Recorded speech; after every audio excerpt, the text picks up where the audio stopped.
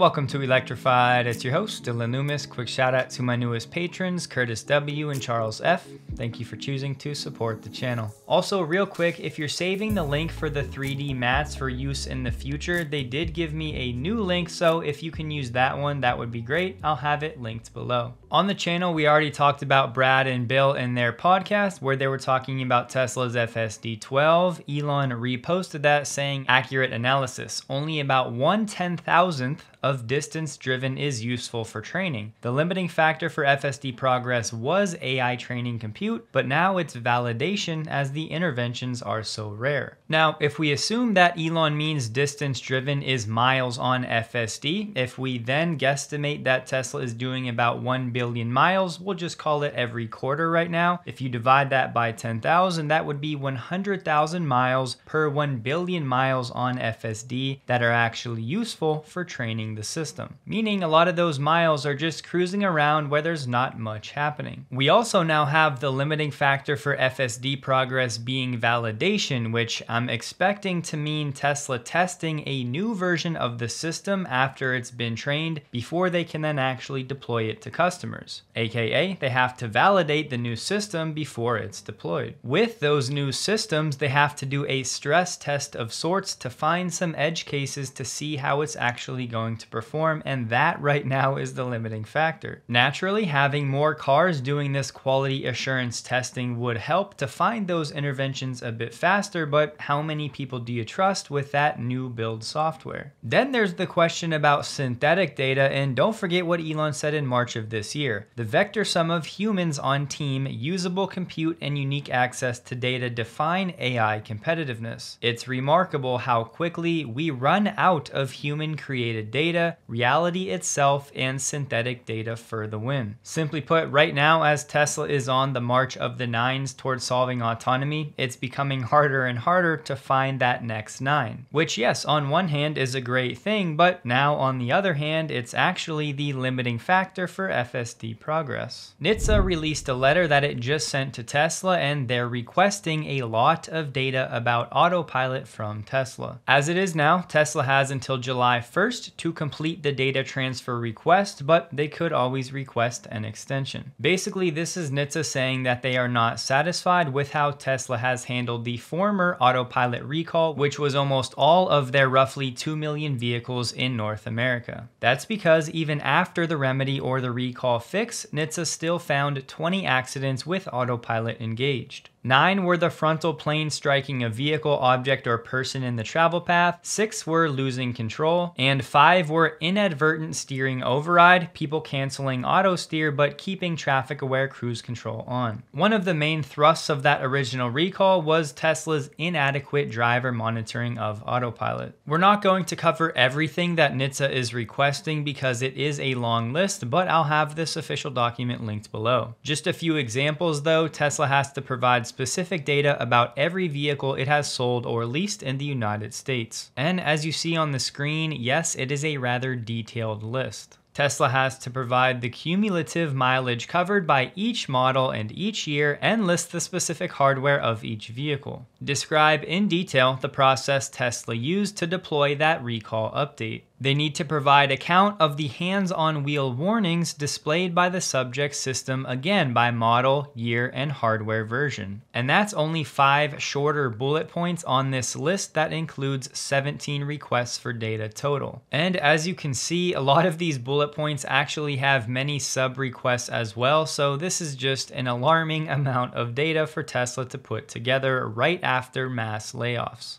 Pretty brutal for Tesla to have to now spend time putting all of this together. However, in time, hopefully some of this data actually becomes public information. Just to be clear though, this is only for autopilot, they say right here, not including full self-driving supervised beta. If the deadline comes and goes and Tesla does not file an extension, the fine is $27,000 per day, about for a maximum penalty up to $135 million. We know millions of people are being deceived by the media propaganda and narratives rather than the data and the facts. That's probably why so many of you have reached out to tell me how much you've appreciated finding Ground News, the sponsor of this video. Ground News gives readers an efficient, data-driven way to objectively read the news. It was developed by a former NASA engineer and there's a mobile app and a browser extension as well, so you can get breaking news on the go. In just a matter of seconds, I can see all of the sources reporting on a story and the headlines for the left-leaning sources the right leaning, and those in the center. Plus, in just a few seconds, using the tags right here, I can see which of the articles have the highest factuality, saving me time, and I can also see who actually owns each source. With the election coming up in the US, propaganda is at an all-time high, and the blind spot tab shows me which news items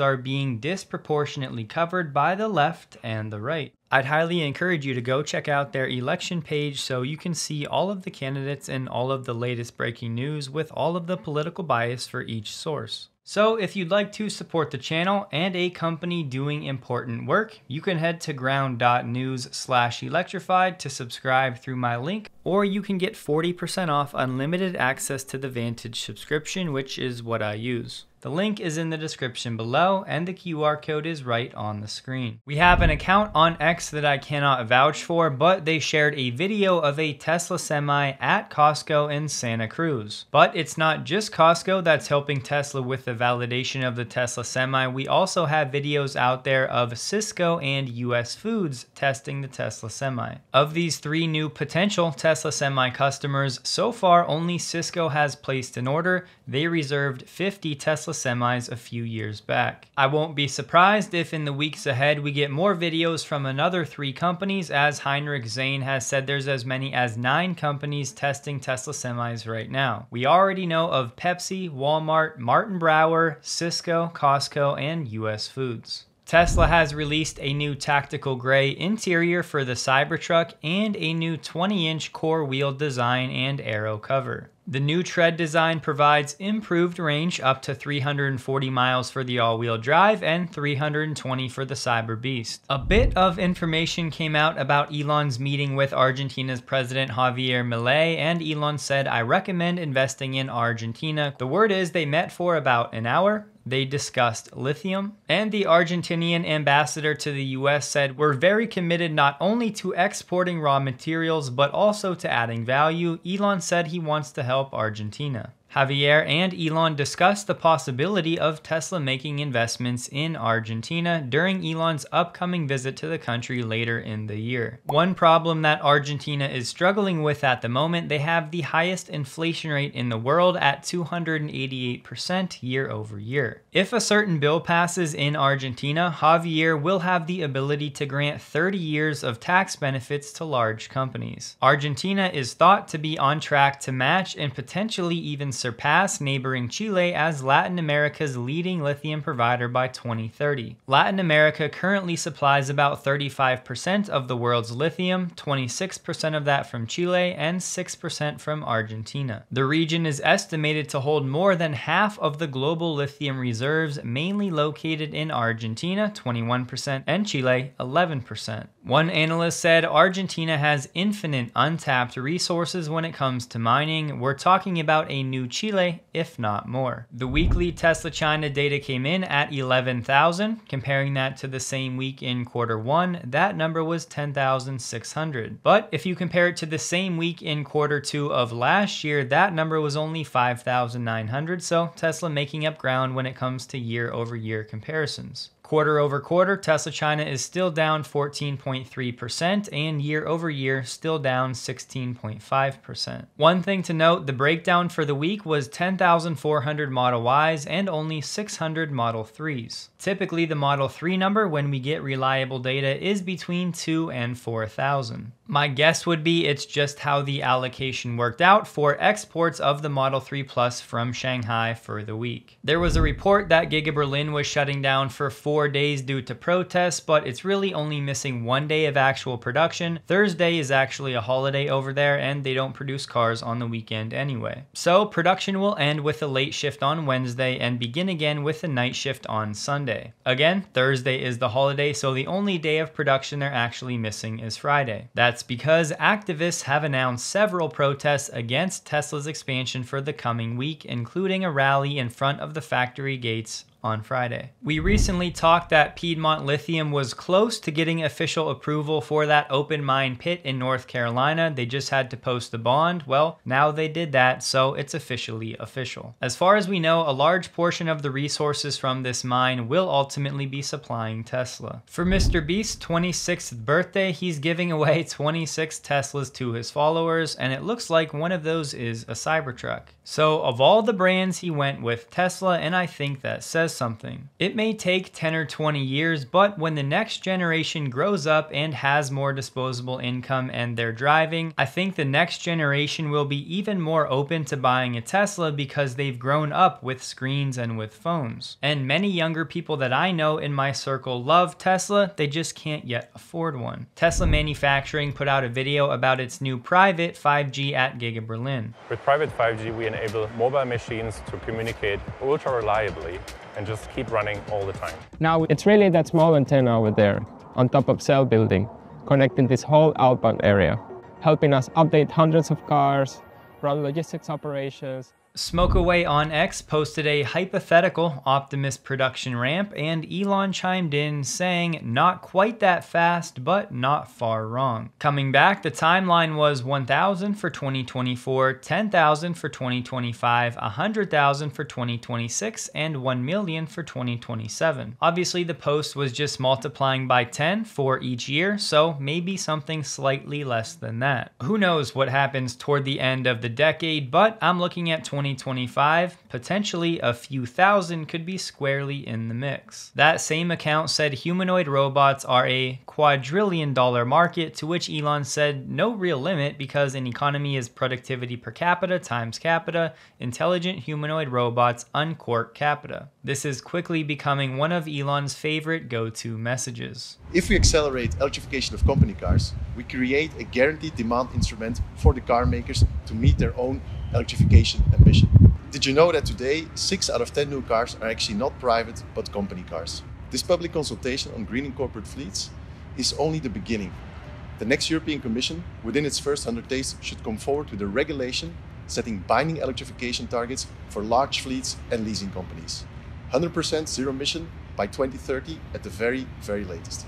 Transport and Environment is Europe's leading NGO pushing for a sustainable future. They're clearly recommending that corporate fleets go 100% EV sometime before 2030. Wayve is an autonomous tech company based in the UK and they just raised over a billion dollars. Part of this round includes Nvidia. This round was led by SoftBank and Microsoft is a part of it as well, but the valuation was not disclosed. Wayve is taking the Comet AI approach in that they don't want to have have their own fleet. They don't want to actually own the cars. They just want to develop the system and then either sell or license that to all of the other automakers. The company received interest from several car companies about investing, but decided not to close off its options in the future by partnering with a single manufacturer. Wayve was founded in 2017, and their CEO said they plan to begin with driver assist technology. The funds will be spent on new staff and compute power, and this should be the last time the company raises a large large chunk of money as it starts to profit from commercial deals. Wayve plans to open a research center in Vancouver, its third location after London and Mountain View, California. You may remember this video from Bill Gates about one year ago where he was taking a test ride in a Wayve outfitted vehicle in London. Their CEO said, We've been all in on an end to end AI approach since we started in 2017 and were unique in doing so. It was fun to see Tesla last year pivot to this approach. It's nice for them to join the club. He said, We're not releasing specific launch timelines at this stage, but we're busy working with a number of manufacturers toward this point and it's going to be an exciting day when it comes. In one of the more recent updates we got from Wayve, they said they believe cameras and radar will be the most important sensors for building a safe and affordable AI driver system. One year ago, they said we're excited to announce the introduction of radar in our sensor suite, starting with our second generation autonomous driving system in development. Wayve also has an AI model that it calls Lingo 1. It uses natural language to help people more easily understand the reasoning and decision making of its AI driver. Lingo 1 can respond to questions about a diverse range of driving scenes. For example, you can ask it, why did you slow down? The answers given allow Wayve to evaluate the model's scene comprehension and reasoning, which can enable Wayve to more efficiently pinpoint improvements as well as to help build confidence in the system. This was a few months ago, but Wayve is testing its self-driving tech on UK roads with Europe's largest last mile autonomous grocery delivery trial with Asda. The problem for Wayve is that they still need all of the data, and before any other automakers are willing to license Wayve's technology, how are they actually going to get that data because they already said they don't want their own fleet of cars? In my opinion, there will have to be strong evidence from the data showing a system to work reliably well before a large OEM like Ford or GM would ever even consider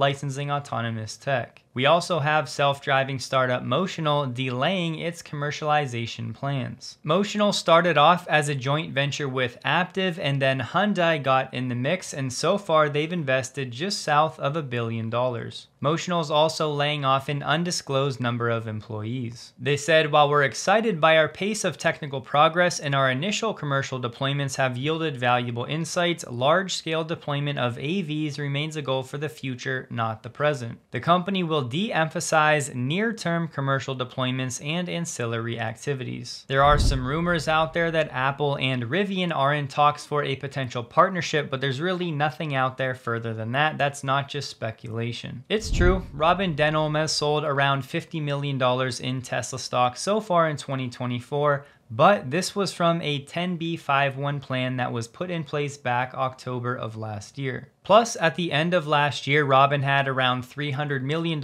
in Tesla stock, so she still holds a majority of her shares. Rivian released its Q1 earnings, and for the quarter, they're losing $38.8 thousand per vehicle in terms of gross profit per unit delivered. That number is indeed down from quarter four when it sat at 43.3 thousand, but they still have work to do to get to gross profitability by the end of this year. In the past on the channel, we've showed the chart showing Rivian's problem with its free cash flow burn, and once again, they burned through $1.5 billion in free cash for the quarter. That amount has been fairly steady over the past five quarters, not seeing the improvement an investor would hope for. Rivian's cash and cash equivalents is down from 7.9 billion at the end of last year to 5.9 billion at the end of Q1. Rivian's net loss for the quarter was $1.4 billion, down from a $1.5 billion loss in Q4 last year. Rivian did say though that gross profit per vehicle loss included $15.4 thousand of depreciation and $1.7 thousand of stock-based compensation expense. Our results were negatively impacted by $9.3 thousand per unit delivered, primarily related to various supplier and other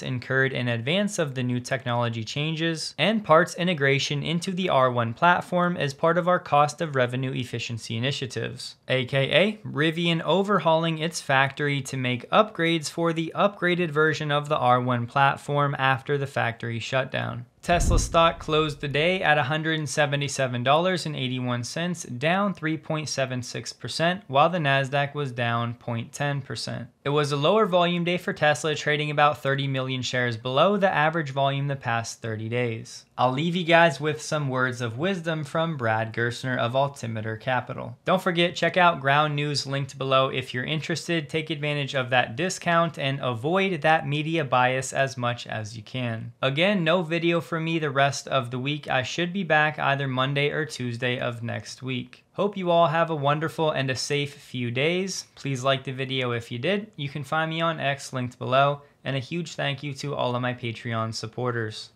Well, first, let me say I think Elon's done an extraordinary job, and I think his advantage in AI and full self driving relative to all the other manufacturers in the world is deeply underappreciated. Um, I think that will be an incredibly valuable asset to the company. I don't think it's an asset that can be replicated by other OEMs in the United States. They simply lack the data. And this is data in, pixels in, and control plane out. So unless you have the data, you're going to have a very hard time catching Tesla in full self-driving. I don't think BYD is going to be able to, uh, you know, play in that game either. And I thought it was fascinating at the moment that the United States is banning TikTok, that the Chinese government is providing permission to Tesla to do full self driving in partnership with Baidu in China. It shows the resilience and the strength of the relationships uh, that Elon Musk has in China and that Tesla has in China. If we start to see the adoption and the conversion on FSD that we think is possible, this will be a story like Apple and services, where services becomes an increasingly important part of their, uh, of their profit makeup.